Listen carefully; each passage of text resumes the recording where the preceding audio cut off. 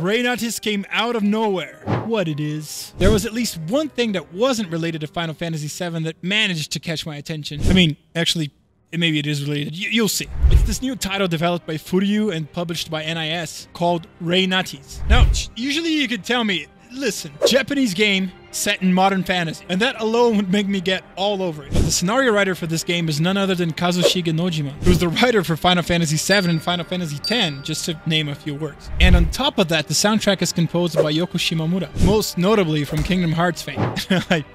Personally love character designs like these, and it was pretty cool to see like the April 1st World Ends With You thing they had. And there's something special about the Shibuya setting. It never gets old for me. But yeah, since you guys know how nostalgia fixated I am, a dream team like this is definitely enough of a reason for me to buy it, even though the gameplay that they showed doesn't look the best, really. We'll see, right? Why not give it a try?